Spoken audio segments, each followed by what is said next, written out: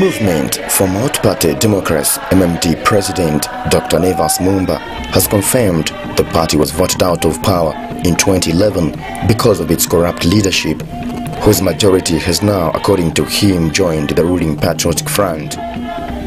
Dr. Mumba has since sent a piece of advice to the leadership of the Patriotic Front government. Zambians are saying, Yalungu, leave those people, they are excess baggage. Those are excess baggage, they will pull you down, but he's just moving with them. Our, they have got cases, they are corrupt, leave them. But all these people that have been known to be corrupt have now gone around President Lungu. In the same way we lost because of the perceived corruption, UPF is also going to lose in 2016 because of the perception of corruption that they have created around themselves. MMD President has further described as an insult to Patriotic Front members of parliament the appointing of opposition MPs in big government positions.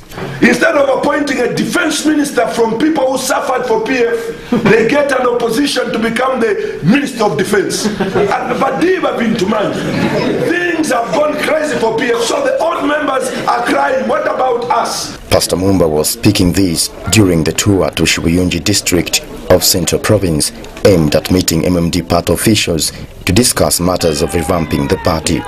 During the meeting, some village headmen in the area have expressed disappointment with the current state of livelihood. We had almost all the services given to us under the former government, but after the defeat of MMD, the current government has abandoned some projects and focused on other issues that only benefit some few individuals. We are now fetching water for drinking from dilapidated shallow wells meant for cattle.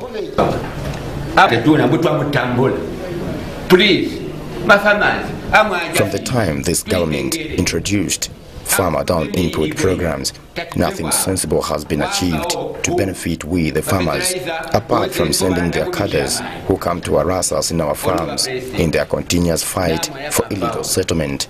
About a year left before the country again goes into a general election, high political atmosphere is already seemingly dressing up all the electorates and their candidates. Jenje Chizu, Muvi TV News, Shibuyunji, Central Province.